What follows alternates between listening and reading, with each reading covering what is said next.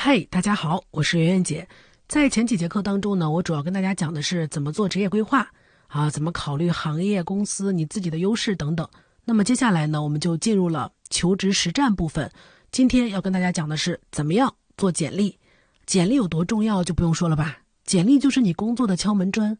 大多时候在求职过程当中是不可能直接见到 HR 或者是你这个面试的负责人的，他们看的你的第一个东西就是简历，简历 OK 才有下一步，简历不 OK 就没有下一步了。那每天每个 HR 都会收到大量的简历，有人统计过 HR 停留在一份简历上的时间大概只有三秒钟。如果在这三秒钟当中你没有打动他，你没有让他在简历上看到他想要的条件，那么你的简历就会被丢到垃圾箱。换句话说，你再厉害也不行，你简历写的不行，所以你没有面试的机会啊，对吧？那什么类型的简历才能够一下子抓到 HR 的眼睛呢？没有那么多花里胡哨的技术，我们首先要弄明白的是，HR 他在筛选简历的时候到底想干什么？他想知道两点，对吗？第一就是你是一个什么样子的人，第二就是为什么你适合我们这个岗位。首先看你，然后再看你跟岗位的匹配度。这是他在看简历的时候的两个重点，所以说你在简历的撰写当中一定要干嘛？重点突出，然后把你想要突出的你那些优点、你那些亮点，然后写明白，然后并且让他一眼看到。第二呢，就是一定要让你的简历跟岗位的要求高度匹配。怎么样才能够高度匹配呢？在写简历之前，你要对你找的工作做这个招聘要求的拆解。在找工作的时候，如果是想针对同一类型的岗位，可以通过这个招聘网站。或者是各大公司的网上将这个岗位的要求找出来，比较一下共同点。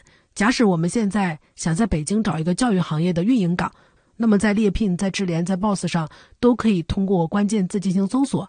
我们找一份比较典型的新媒体运营的岗位，帮大家把这个关键的信息提出来了。大家来看一下，从这里面我们可以看到，公司对这个岗位的要求包括本科学历、三年社区运营经验、逻辑能力、数字敏感度、沟通能力以及社区资源。其实每一份工作对一个求职者的要求大概可以分为这几个部分：首先，学历、年龄啊这些基本要求；其次，专业知识跟行业经验；第三，可迁移的能力；第四，性格要求这几个部分。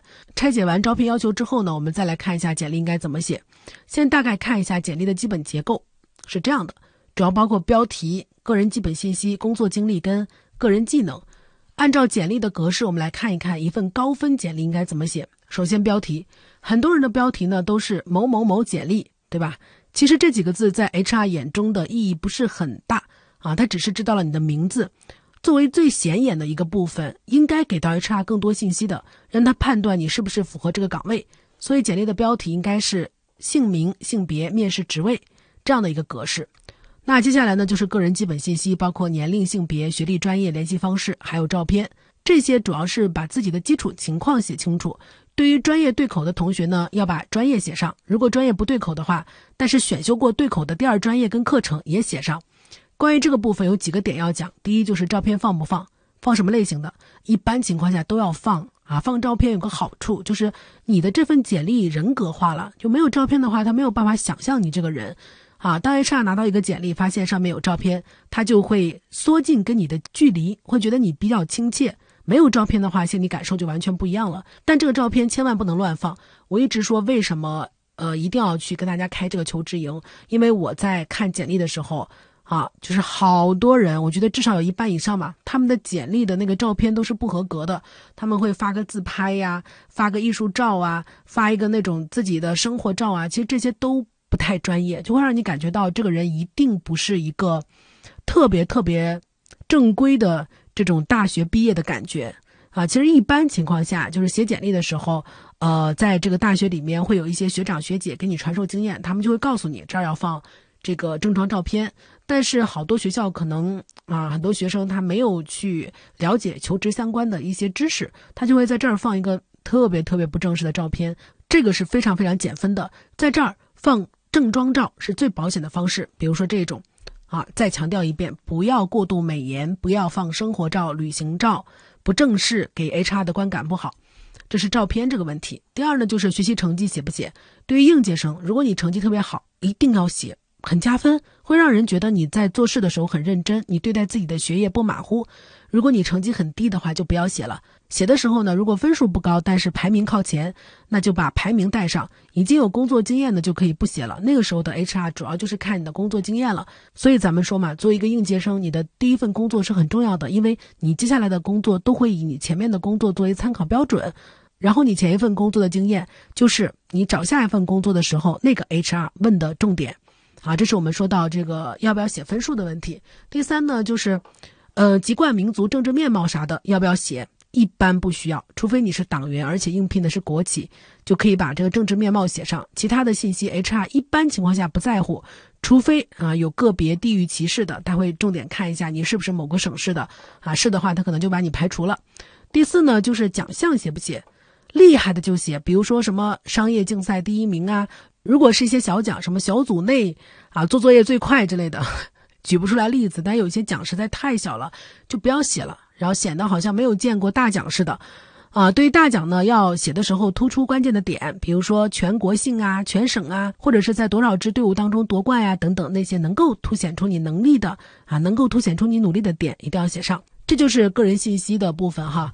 再往下呢，写完了个人信息，就是要写这个工作经历跟项目介绍了。好多人在写这个部分的时候，就会眉毛胡子一把抓啊，不考虑重点，也不考虑 HR 的需求。在这儿就要回到咱们前面做的那个岗位剖析。对于这个部分呢，你要体现的是行业经验、专业能力，跟你那些可迁移的技能。所以，对于那些跟岗位要求不相干的工作经历，实际上是可以删掉的。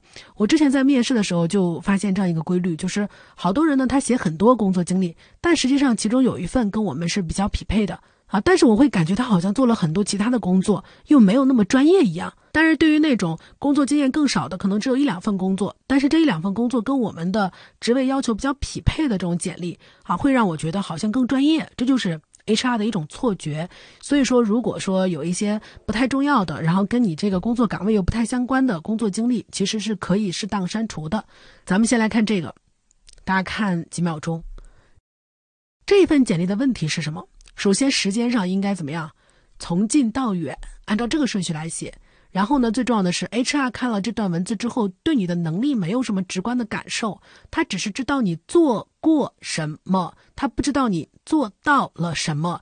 你这些就是工作描述，只是对这个岗位的职能的描述，而不是对你工作经验的描述。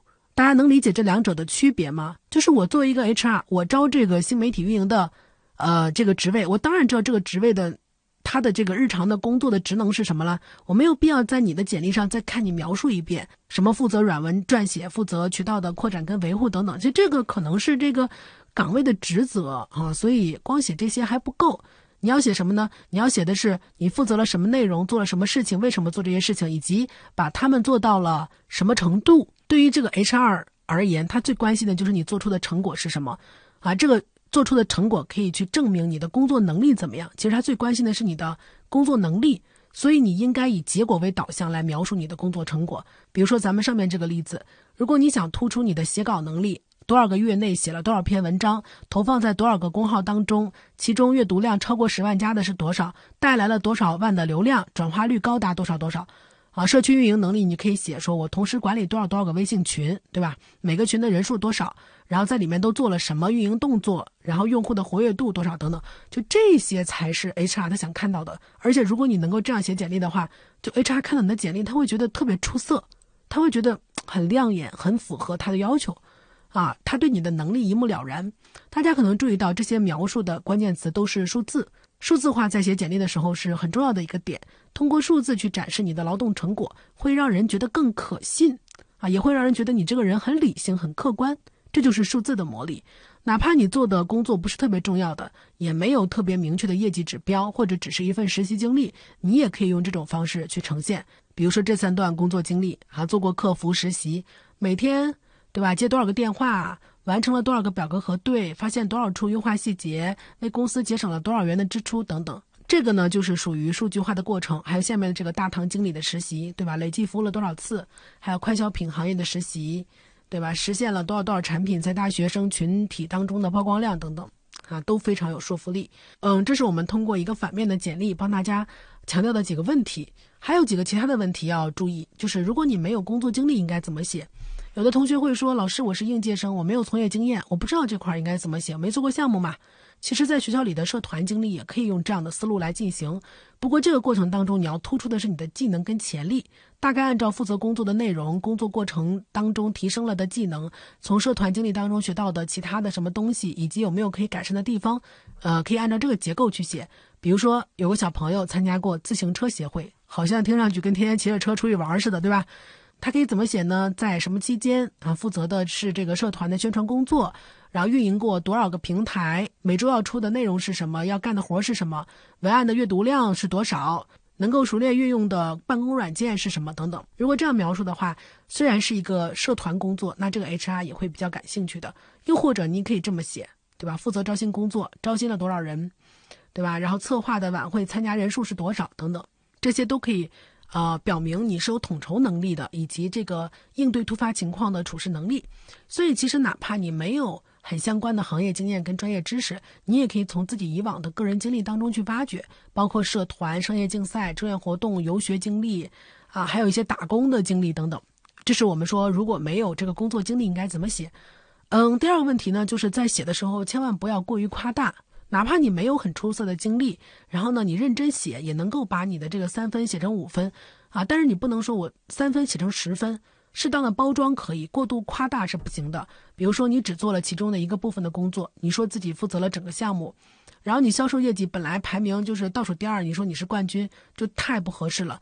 这个算是简历造假啊，这个 HR 是会做背景调查的，如果在这个环节被查出来你撒谎了。那这个工作你就丢了，还会影响到你找其他的工作，因为你不诚实的消息很有可能传到其他公司的 HR 耳中，啊，所以大家在做简历的时候不要过分夸大。呃，有的时候呢，其实 HR 他已经面了太多太多人了，他简单的问几句他就知道你到底有没有夸张啊，被问出来也挺尴尬的，所以不要夸大。还有再往下呢，就是工作时长太短的要不要写？你知道有些人频繁的跳槽，工作简历上就出现很多短期的工作，如果少于半年的话，我的建议是不要写。因为大量的短期的工作经验会给 HR 造成一种印象，就是你这个人没有定性，然后招到你到公司，可能你很快就走了，他就白招了嘛，啊，他就没法留下。对于 HR 来说，他工作有个考评标准，就是他招到了多少合适的同事留在公司，他是有招人压力的，所以他看错你，他是有成本的。那他一看，哎呀，你这个简历上面一直都在频繁的跳槽，他就会觉得算了，就是我不见得也能留住你，所以说你可能就会没有面试机会嘛。工作时长太短的不要写啊！写完工作经历跟项目经历之后，就到了个人技能的部分。个人技能的部分可以突出就自己基本的办公能力跟语言能力的部分。这个部分呢，也可以尽量去用那些量化的指标来写啊，不要说我的这个 Excel 能力良好啊，我的这个英语能力优秀呃，这种词汇太模糊了。我看完之后我就知道，就是你水平一般。其实可以稍微美化一下，比如说英语能力良好，就不如写说英语六级得分，啊，六百一十来的直观。能够熟练的使用办公软件 Word，就不如改成说能够熟练使用百分之九十以上的 Word 功能。我之前看过一个简历，写的也挺有意思的。他说他比百分之八十到九十的人更擅长使用这个办公软件啊 Word 什么的。然后我就问他说，为什么你会这么评价自己呢？他就给我讲说，Word 当中有几个功能，啊，这几个功能是别人。就是一般不会注意、不会用的。他讲完之后，我是觉得好像这个小孩儿就是挺认真的啊，好像就是有点技术挂的感觉，就会给人印象很良好。所以呢，大家尽量减少模糊的描述，然后尽量的把你的这个技能都量化出来。这是我们的个人技能的部分。还有一个部分的内容，很多人会写到简历上，就是个人评价。个人评价要不要写？怎么写？其实这个部分有点鸡肋。我一般看个人评价，他们都是写的那种千篇一律的套话。我这个人很积极、很开朗，善于融入团队，什么什么善于协作，然后交流能力好，沟通能力好，什么耐性好。就是其实这个部分呢，属于那种，呃，如果你写不出特色，就很鸡肋，它反而占了你的这个简历的空间，啊，它属于无效信息。有的时候呢，还会给人造成一种自夸、自吹、自擂的感觉。大家来看一下这个自我评价是不是很雷，是不是让你感觉到很窒息？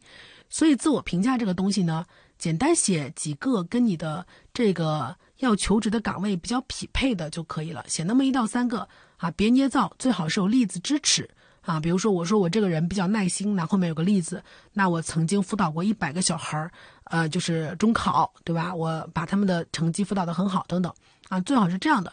如果面试的时候面试官问到你的话。那么你就可以把你准备好的例子拿出来。讲到这儿呢，这个简历的结构跟内容就差不多了。但是这还不够好啊，因为除了内容之外，你还要保证你的简历在视觉上能够抓住 HR 的这个注意力。给大家看几个反例，看这个，再看这个。抛开内容不说啊，这两个简历它最典型的问题是什么？就是排版有问题。哎呦，我见太多这样的简历了，我看到这样的简历我就发愁，我就觉得这个小孩真的是没有就是在求职上用过心。也不知道求职的时候一个专业的简历是什么样子的，还是那句话，我就怀疑他受到的教育的正规性，啊，你排版有问题，结构凌乱，没有重点，那别人看的时候的感觉是什么呢？人眼的视线一般是集中在一张纸纸张的三分之一处，啊，第一份的简历在这儿放着的是教育经历，第二份简历放的是实习经历，但实际上他们简历当中最让 HR 感兴趣的不是这两部分，而是工作经历。所以我看到这两份的时候，我的第一反应就是他们没有工作经历吗？扫了两眼，才发现，在下面，如果找你的简历的重点比别人花更多的时间，那么很有可能你的简历就被 pass 掉了，或者是看完了之后对你印象不好。而且这两份简历的结构就是把各种信息编成块儿之后往上面一扔就完了，完全看不出他想突出的重点是什么。还有一种就是更糟糕的简历，是这个表格式简历。这个简历你知道一般就证明什么吗？证明这个人他真的很土。就是只有那种特别特别土的人才会使用这种简历，一看就是那种从网上弹下来的表格，然后照着这个表格去填，啊，这个特别挑战 HR 的审美。我看到这样的简历，我都发愁，我觉得怎么会这么做呢？看到这样的简历呢，我一般就直接 pass 掉了。我会觉得这个人做简历很敷衍。咱们来看一下正确的排版是什么样子的，是这样的。这个同学呢，把他最有价值的内容。实习放在了纸张的三分之一到三分之二处，这个 HR 一下就能够找到他的实习经历，而且呢，按照时间从近到远的方法进行了排序，这就是咱们说的这个排版的问题哈。另外呢，在写简历的时候还有几个点要注意：第一，尽量把字数控在一页以内，不是尽量啊，几乎就是必须控在一页以内，除非你是那种工作经历比较多，就是你已经工作了好几年了，对吧？没办法。你只好就是多写一页，一般应届生他就应该把简历控制在一页。第二呢，就是美观，你可以按照这个格式去调一下，页边距上下左右两厘米，字符间距加宽零点五磅，行距固定值二十二磅。第三，不要出现错别字。哈，如果大家觉得格式特别麻烦的话呢，也可以用下面这几个工具去做简历：超级简历、拉钩的在线模板跟乔布简历。简历写完之后呢，就可以准备投递了。投递的时候，你可以写一封简短的求职信。求职信呢要量身定做，其实最好的是你的简历也是量身定做的，你给每一份你要求职的工作去匹配啊这个工作的要求，然后所以一些重点的你求职的企业就可以去重点的针对性的去做一个简历。啊，当然你没有精力做那么多也没有关系，就一般情况下，只要是同一个岗位，你的简历都是适配的。咱说回这个求职信啊，这个求职信的格式大概是这样的：邮件标题、姓名、应聘的岗位啊。如果说你毕业的学校比较好，同时你又是应届生的话，你可以把你的这个学历写在上面。我给大家整理了模板，大家照着这个去写就可以了。这个模板长这样。求职信当中有几个需要注意的地方，第一个就是附件用 PDF。因为 Word 它的什么版本不一样呀，它容易在电脑上面就是显示的时候出格式错误啊，所以附件要用 PDF。第二呢，就是检查邮箱的名称，有的同学习惯用 QQ 邮箱来发邮件，但经常忘了改邮箱的名称，然后就会发出去这样的邮件：午夜凄凉发来邮件，对吧？爽飞天发来邮件，你妈喊你回家吃饭发来邮件，这个就太不专业了。所以说发邮件的时候，记得在邮箱设置的地方改一下发件人的名字。以上就是关于简历我们要跟大家提醒的内容，给大家总结一下啊。第一，HR 喜欢的高分简历是跟岗位匹配度高，重点突出，排版美观。第二，在投简历的时候呢，可以附上求职信。最后想跟大家说一下，就是不会有人不知道简历的投递渠道吧？包括各大求职网站、校招、企业的官网跟内推和猎头等等。以上就是今天的内容，希望对你有帮助。